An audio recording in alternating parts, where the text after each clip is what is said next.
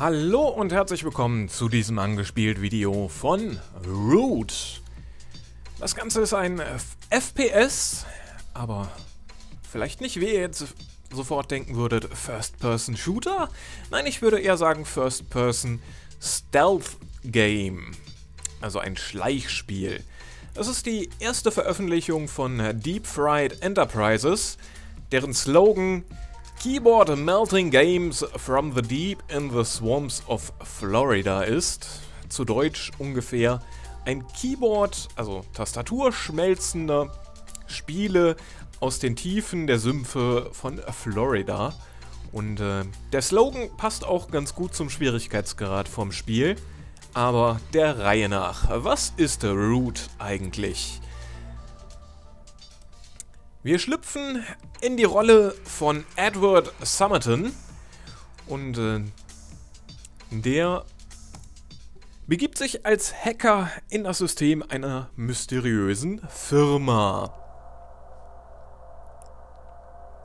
Und äh, hier sehen wir mal das Intro zum Spiel.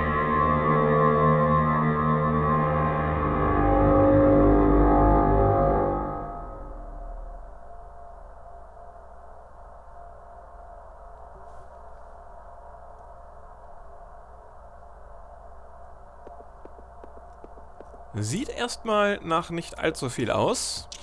Aber wenn wir hier die Tür öffnen, dann sind wir in dem, was das Spiel ausmacht. Wir laufen hier in Ego-Ansicht äh, durch diese von äh, Trom inspirierte Umgebung. Warum das jetzt in Ego-Ansicht passiert, muss ich ehrlich gesagt sagen, habe ich nicht so ganz verstanden. Und die Story des Spiels äh, wird hauptsächlich über diese kleinen Texttafeln hier erzählt, die immer am Anfang des Levels kommen und zwischendurch auch mal, wenn ähm, man etwas Besonderem im Level begegnet. Und äh, ja, erzählt wird das Ganze von Shell, ein uns anscheinend äh, freundlich gesinntes Programm. Und der Name kommt auch nicht so von ganz ungefähr. So wie er sich selber vorstellt, ist es tatsächlich die Systemshell, die zwar andere Programme innerhalb der Umgebung aufrufen kann, aber sonst nicht allzu viel Macht über das System hat und auch nicht direkt ins Spielgeschehen eingreift. Das Schöne an der Figur ist, dass die sich offensichtlich selbst nicht so ganz ernst nimmt und auch das Vorgehen hier vom Spieler meistens eher sarkastisch kommentiert.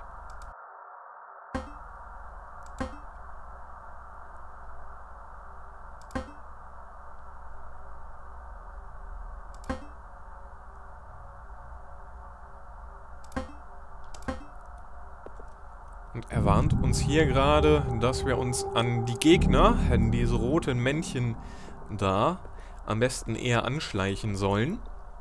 Und genau das äh, mache ich hier jetzt auch mal. Plopp. Und dann können wir ihn mit dem Knüppel hier eins von hinten übergeben. Und es ist auch definitiv ratsam, mit der Tab-Taste in zwischen Schleichen und Rennen hin und her zu schalten.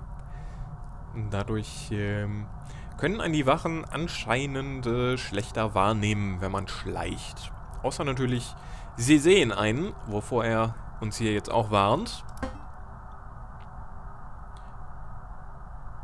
Und ja, ein wunderschönes Beispiel äh, für den leichten Humorgehalt der Aussagen in diesem Fensterchen.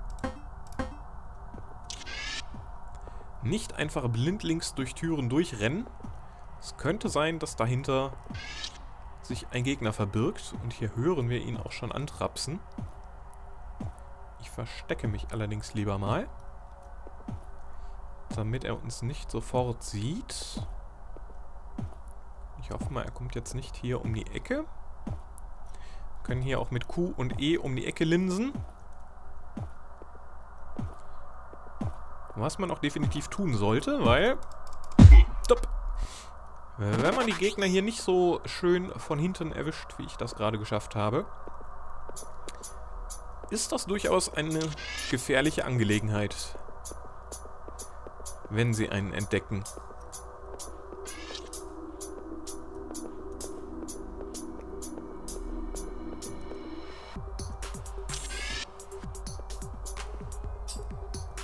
Ne? Ich höre noch einen Gegner. Äh, jetzt hat er mich gesehen.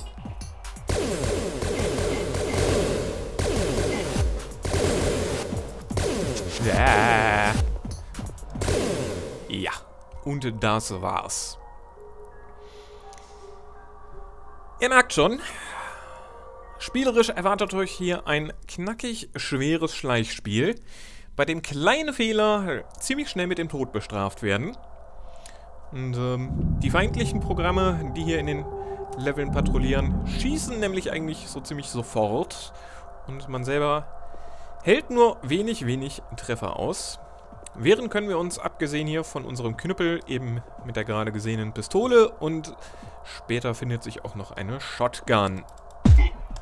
Ups. Das hat jetzt nicht funktioniert. Wir können die auch treten. Ah, was funktioniert, aber da kommt schon der nächste angerannt. Und ja. oh Mann. Das war's schon wieder. Das und die doch eher labyrinthartig angelegten Levels machen das echt zu einem richtig schweren Spiel. Dabei ist die Prämisse grundsätzlich erstmal einfach. Wir sollen den Fahrstuhl am Levelausgang erreichen um damit eine Ebene tiefer in das feindliche Netzwerk einzudringen. Und ähm, meistens müssen dafür noch im Level verteilte ähm, ja, Keycards eingesammelt werden, um zum Beispiel Türen zu öffnen und auch um äh, Firewalls auszuschalten. Und ich gehe jetzt mal hier aus diesem Level raus. Und wir springen mal in ein späteres Level rein. Weil das erste Level ist, auch wenn ich jetzt gerade nochmal grandios gescheitert bin, eigentlich relativ einfach. Und ihr seht schon, ich bin bis jetzt bis Level 7 gekommen. 10 sind es insgesamt. Wenn ihr jetzt denkt, hm, das sind aber nicht unbedingt viele, muss ich euch noch zustimmen. Wir nehmen hier mal Level 5. Ja, Level 5.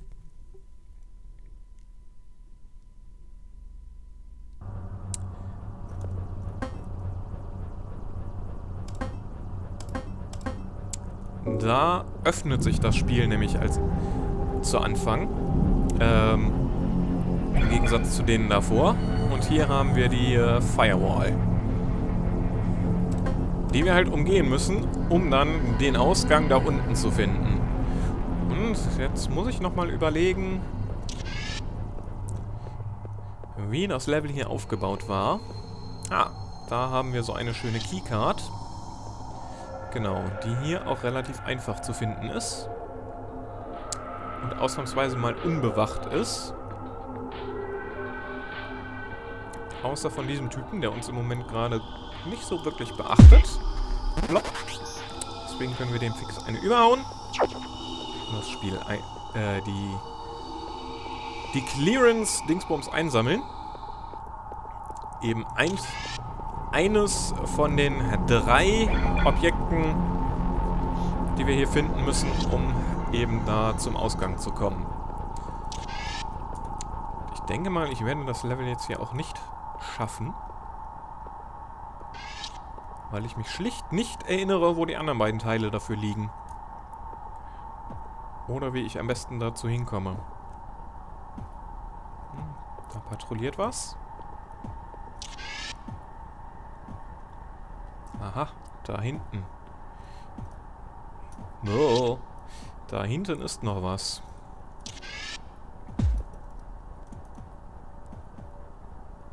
Schwer bewacht von einem Gegner mit Schild. Hm.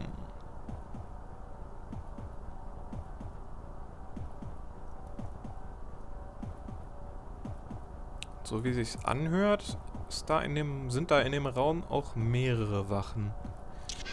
Versuchen wir es nochmal mit der Tür zu öffnen. Okay, der geht weg.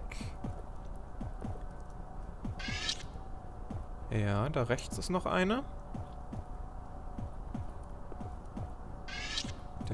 Gerade in die andere Richtung. Das ist super. Und, ui, da läuft noch einer lang. Äh, hm.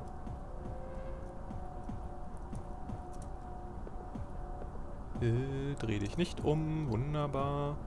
Oh, hier sind sogar zwei. Äh, hm. Okay. Der stapft da hinten weg. Dann können wir jetzt dem hier eine überbraten. Aua. Und ich wurde gesehen. Das ist nicht gut.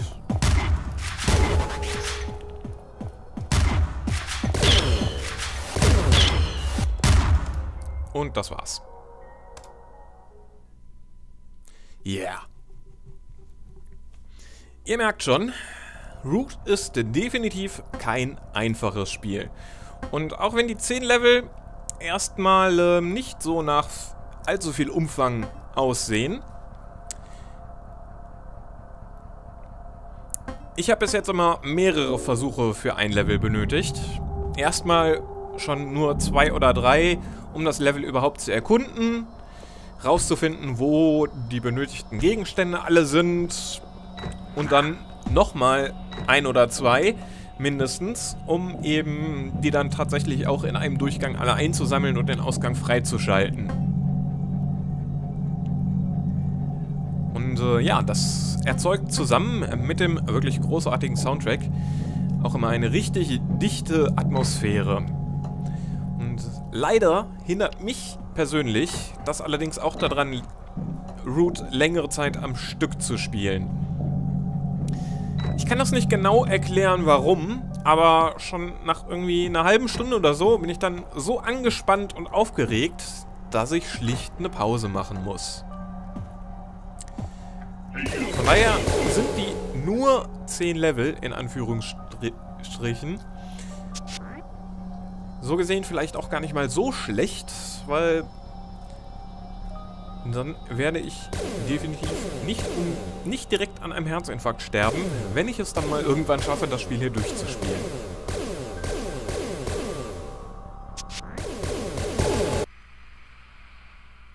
In guter alter Doom-Tradition gibt es übrigens auch noch Paarzeiten für jedes Level. Also sprich eine Optimalzeit, in der man es schaffen kann, durch das Level durchzukommen und außerdem auch noch ein Achievement, das ganze Spiel in weniger als 25 Minuten zu erledigen. Dafür braucht man zwar sicherlich auch einiges an Übung, aber das spricht natürlich auch nicht unbedingt für den Umfang des Spiels. Trotzdem, ich habe bis jetzt, um hier bis Level 7 zu kommen, rund zwei Stunden, bisschen mehr vielleicht gebraucht. Und äh, für die letzten drei, denke ich mal, wird auch noch ein gutes Stündchen draufgehen. Also, allzu viel geboten wird hier leider, leider nicht, aber trotzdem, das Gebotene gefällt mir bislang auf jeden Fall recht gut. Noch die üblichen paar Worte zur Technik. Wie so oft im äh, Indie-Bereich werkelt auch hier die Unity Engine im Hintergrund. Und äh, beim ersten Öffnen des Launchers musste ich doch dann tatsächlich ein bisschen lachen, Statt den üblichen sechs Voreinstellungen zur Grafikqualität könnt ihr hier schlicht auswählen Grafikqualität an. Hm, interessant. Das Optionsmenü fällt dafür ein bisschen umfangreicher aus als bei anderen Titeln. Ihr könnt die Texturauflösung, Anti-Aliasing und die isotropische Filterung konfigurieren und außerdem noch ein sehr interessantes Menü aufrufen, das ich so in noch keinem anderen Spiel gesehen habe. Über die Color Preferences lässt sich die komplette Farbpalette des Spiels anpassen. Während normalerweise eben alles größtenteils in Blau und äh, Rot gehalten ist, könnt ihr hier die Farben der Wände, des Bodens und so weiter anpassen in so ziemlich allen Farben des Regenbogens, die euch einfallen. Wenn ihr zum Beispiel gerne pinke Wände mit ähm, gelbem Rahmen habt, bitteschön, lässt sich machen. Was davon leider nicht beeinflusst wird, sind die Objekte und Gegner im Level. Die behalten immer ihre blau, grüne und rote Farbe. Das ist ein bisschen schade, aber dass es überhaupt so eine Möglichkeit gibt, finde ich eigentlich schon ganz cool. Hilft eventuell auch Leuten, die mit äh, Farben sehen ein bisschen Schwierigkeiten haben. Andererseits, dadurch, dass Objekte und Gegner immer ihre Farben erhalten, vielleicht auch nicht so ganz. Audio-Menü, auch gut gemacht. Es gibt ein Master Volume und separate Einstellungsmöglichkeiten für Soundeffekte, Musik und Umgebungslautstärke. Und bei Bedarf könnten wir sogar die Sounds komplett ausstellen hier. Auch die Konfiguration der Tastenbelegung lässt kaum Wünsche offen. Alles ist frei belegbar, die Maussensibilität lässt sich einstellen. Die Tasten für Schleichen und Kriechen dienen wahlweise als Umschalter oder wir müssen sie gedrückt halten. Es gibt eine Field of View Einstellung und äh, wenn wir es unbedingt wollen, können wir die äh, Story-Text-Tafeln auch ausblenden. In dieser Hinsicht ist das Optionsmenü für ein Erstlingswerk von einem Entwickler wirklich fast perfekt gelungen. Das Einzige, was mich ein bisschen stört, ist, dass wenn man irgendwas ändert und dann hier anschließend auf Apply, also Übernehmen drückt, es keinerlei Bestätigungen dafür gibt. Oder eben das Menü vielleicht geschlossen wird und man zurückgeht oder so. Äh, man muss einfach darauf hoffen, dass das hier tatsächlich gespeichert wird und dann ein komplett unintuitiv mit Cancel, also abbrechen, zurück ins äh, vorige Menü wechseln. Da besteht noch ein kleines bisschen Verbesserungspotenzial, ansonsten bietet das Optionsmenü eigentlich so ziemlich alles, was man sich wünschen kann.